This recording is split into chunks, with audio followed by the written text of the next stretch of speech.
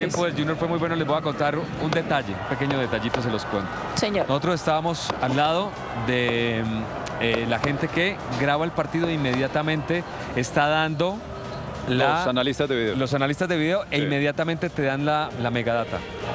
Y nos dijeron, yo le pregunté cuántos centros tiró eh, Millonarios, 35 centros. Sabíamos que nos iban a llenar de centros, por eso hici- hicimos un trabajo especial para los centros. 35 centros. Eso lo muestra que Millonarios el primer tiempo no pudo con...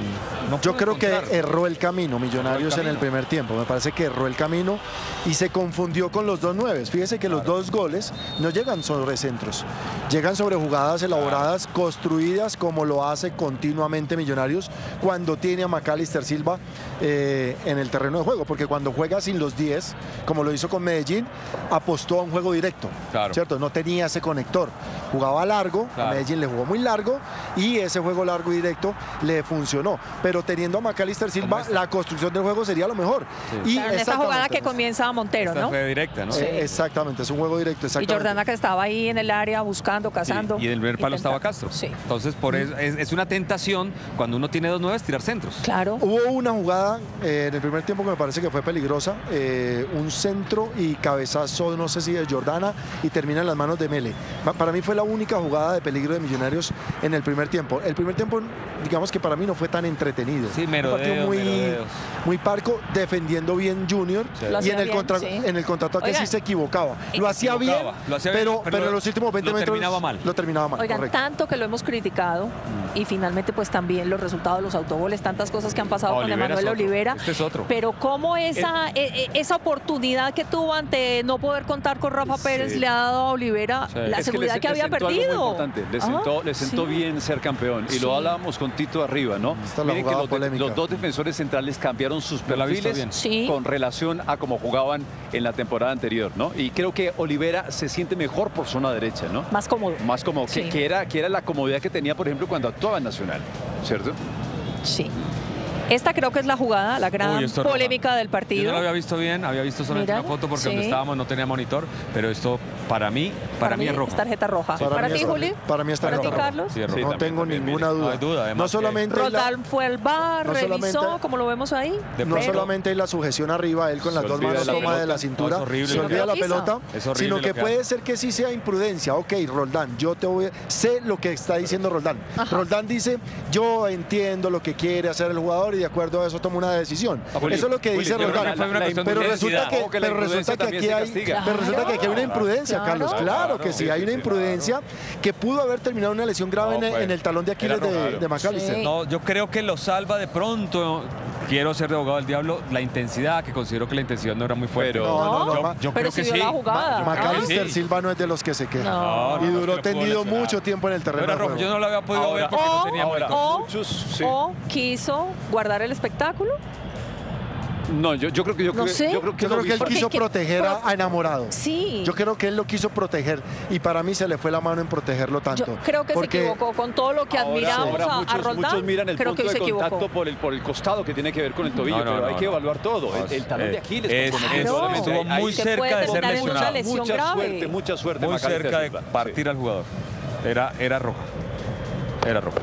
Ahora tuvo el Y aquí recurso, un- recurso Roldán de Bueno. Guerra, Sí. Guerra, esta versión de Guerra que nos está mostrando en estos partidos, eh, él ha tenido un par de juegos en el pasado, recuerdo uno con Bucaramanga donde jugó bastante bien. Esta es la lesión de Vanguero que infortunadamente lo saca y manda a verter al campo, ¿no? Otro Sí, mérito y- de Millonarios, ¿no? En, en medio del desarrollo del juego se le va a un jugador importante, ya a los, a los que ya tenía como, como baja sensible, ¿no? Igual Bertel es un titular Les voy a también, decir en qué creo, ¿no? minuto Sin se fue porque sí. tomé nota.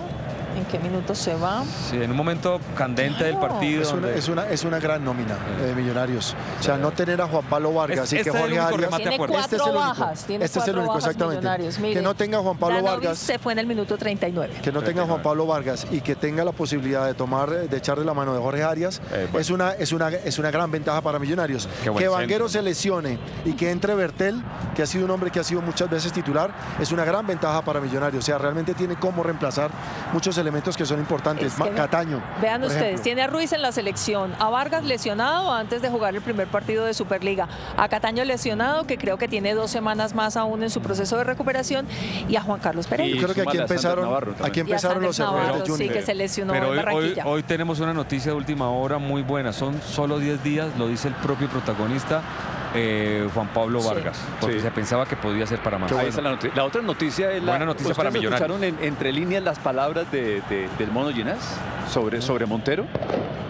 Entre líneas No lo escucharon. alcancé a escuchar no, no, bien. no, no. Eh, prácticamente Se va. como hecho que, que- que Montero chao. Es Sí, que, o sea, es que Tito, dejaste, Lili, dejaste muy mañana- preocupado al hincha de mañana- Millonarios, pero ¿qué sabes que no has Hoy contado? el presidente de estudiantes está viendo el partido, mañana Ajá. se cierra, ellos la última oportunidad, mañana tienen que mandar el, gi- el- el chequecito, el giro, no sé cómo ¿Cuatro se hace. millones y algo? Y ¿Sí? tres y medio. tres y medio. Bueno, tres y medio. Yo le digo una cosa. ¿Está dispuesto estudiantes Tres a y pagar medio. tres y medio por Tres y Álvaro medio. Montero? Yo le digo una cosa. sí. tres y eh, medio es económico. Este es el si.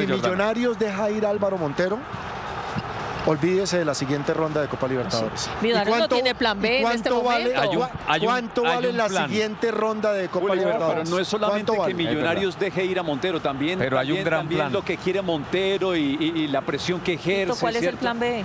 El plan B es alguien que quiere jugar en Millonarios Y hoy, Que es de hoy- selección y hoy por hoy está en la India. y que se llama David. ¿Es cierto? ¿David Es Ospina cierto. quiere jugar ¿Es en cierto? Millonarios? Es cierto, ¿Pero no está con su equipo en pretemporada? pero está ¿Quiere jugar en dispuesto a escuchar la Hoy, oferta de hoy Millonarios. dijo, Les Alex- cuento hoy algo, dijo yo- Alexis Rodríguez que preguntó el entorno de David y dijeron no, rotundo no. Saben que yo también, Bueno, porque yo los vi en quiero- saque largo y también me dijeron lo mismo. Yo Me les quiero parece- decir que hoy estuve aquí en la previa de Millonarios, hablando con mucha gente cercana a Millonarios y de cierto el Jordan contacto. Lo Sí. que siento es que el hincha de Millonarios pues recibe- dice, vendría otro arquero de selección Parece nacional, mentira ¿no? que David quisiera atajar en Millonarios, parece mentira, ¿no? Bueno, estuvo muy cerca de Nacional, porque para nadie es un secreto que estuvo muy cerca de Yo Nacional. creo que eso es muy Estuvo- difícil que se. ¿Saben Es que Estuvo a una llamada, y conozco esa historia muy bien, a una llamada de jugar en Nacional, nada más. vamos a ver no se dieron las cosas. Yo también lo veo muy difícil que jueguen Millonarios, pero me inquieta es No lo veo jugando en que Millonarios. ese sea el plan B de Millonarios. Bueno, ya hay varios arqueros, sobre todo uruguayos, que han llamado grandes glorias del fútbol acá. Han dicho, mire, este arquero le puede servir a Millonarios, pero no son cerquita a Montero. Ok. Sí, son Sí, difíciles. estamos No, hablando de portero de. Ahora, portero de selección, portero algo, campeón. Yo te voy a decir algo. Montero es de los que cree que hasta que no se vaya al exterior no va a poder ser titular de la selección Colombia. Eso lo cree Álvaro Montero. Bueno, eso es, ese es un buen punto. El tema es Ojo que, el tema es que eh, Tito, Estudiantes de La Plata no es el equipo más grande de Argentina. No, pero Millonarios juega, juega Libertadores, juega fase de Libertadores, fase de grupos, Millonarios señor. juega Copa Libertadores fase de grupos. Estudiantes también. Ni es un grande- Millonarios ni es un puede recibir, Brasil, ¿no? Millonarios puede, Sí, es que es que lo que yo le estaba diciendo a Juan Pablo Vargas, Sí, sí, sí. lo que significa para uno como jugador la jugar la Copa Libertadores. Si Millonarios hace una buena Copa Libertadores, Estudiantes le queda chiquito a Montero, le queda chiquito. Analice la, analice la Claro, empieza- situación. sin duda. Sí, sí, sí. Si, si Álvaro Mon- Montero Montero, tiene 28. llega a la Sí. si Álvaro Montero llega con Millonario a la semifinal de la Copa Libertadores, no Estudiantes es un equipo Juli, chiquito al lado de lo que le va a venir Álvaro Vol- Montero. Eso que dice es cierto. Volviendo a esta coyuntura del partido, ¿no les parece que, que Vaca llegó tarde al partido? Que se demoraron demasiado Uy, Pero saben que creo yo, que siento yo Pérez? que lo quisieron cuidar pensando es que recuerden que Vaca Sí. llegó de España, que sí estuvo trabajando Ah. afuera, pero lo quisieron cuidar un poco por, pues, que por jugó- jugar en jugó Bogotá, 90 ¿no? minutos contra Jugó- Bucaramanga. Sí. Exactamente. Pero Y la- en la- Superliga también arrancó. entonces la pregunta es, Ellos, ¿por qué claro. jugó tanto tiempo con Bucaramanga si están disputando un título aquí en Yo Bogotá? creo que le dieron Pero la jugó en. Barranquilla, ¿no? Esta es Piensa acá, en esta- altura. esta- acá es donde Montero se vuelve súper Sí, importante. claro. En Ahí es calidad y no tú en dices cantidad. que la gente de estudiantes dice El pase de Vaca, ¿no? Bueno, saquen la plata. Lo que pasa es que. Llamen mañana temprano. Que Millonarios tiene muy mala experiencia con los equipos argentinos. San Lorenzo no le pagó a Salazar o no sé cómo fue la cosa y no quieren que les vuelva a pasar lo mismo. Si no mandan la plata completica, no va a haber. Eso Ahora- que me da un millón y medio, no. Ah, no, Ahora, ese- Tito, ese negocio no sirve así. Esto, esto, esto de Montero es de, de- de atajador, pero también de, de- de arquero con mucha intuición, ¿no? Ah, Porque cualquiera, cualquiera piensa que te va a rematar al segundo palo, Chara. Sí, Montero eh, ama Millonarios, pero también piensen en que las oportunidades. a No, veces- mira Macalister lo que Oigan, no, hace. y les digo algo, les digo algo, digamos que si eso se da, Ah, este es un golazo. Macalister es mucho jugador. Si eso se da, si Álvaro Montero se va, eh, podrá decir misión cumplida. Ah. Porque en algún momento cuando Gamero se fue Eh. del Deportes Tolima le dijo, si usted quiere ser campeón, lléveme a Millonarios. Eh. Vino a Millonarios, ya consiguió la Liga, ya consiguió la Copa y la Superliga, una Superliga más. Sí, eh, Carlos Vaca entró y generó dos situaciones de Sí. gol Sí. para Chará. Sí, sí, sí. Impresionante lo de Carlitos, el momento que tiene también. Y No, sé, pi- piensen lo de Montero. Junior, el hincha de verdad, Ah, pi- ¿lo de piensen Montero? bien lo de Montero. Pues ojalá Montero tome la mejor decisión.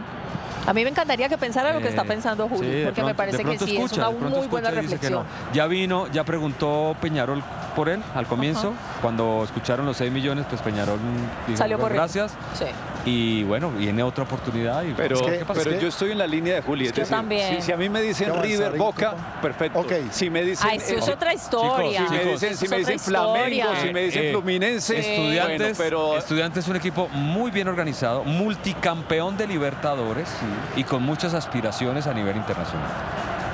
O sea, no es, O sea, no es Boca, no es lo River, estamos subestimando. pero tampoco es ni siquiera Independiente que hoy la pasa muy mal de manera administrativa. Es un Sí. equipo muy bien administrado, Sí. un equipo que, es más, estuve almorzando en el estadio, dentro del estadio. Tienen un restaurante espectacular, usted hace reservaciones y come de una manera espectacular dentro del estadio ahí en la playa. Pero Tito, Pero pero, no Tito, eh, Juli me ¿por dañó la mi- cabeza. ¿Por qué Sí. Millonarios no se puede poner a la altura de Estudiantes? No, Yo es que- entiendo es que, que- Estudiantes es dos es veces que- campeón de Copa Libertadores, Es que si campeón Millonarios mundial. dice no es no. Pero- porque es que- Perdón, perdón, pero- además pero- Millonarios mandó un mensaje y es que tiene una prioridad este año, que es la Claro. ¿Y Libertadores, hacer una gran Millonarios no- Libertadores. Millonarios, ¿por qué no puede pensar una y soñar con que puede hacer pendiente. una gran Copa Libertadores? No, es que y hacer una, hacer una, una gran Copa Libertadores son 10 millones de dólares en el Banco de Millonarios. Claro. Claro.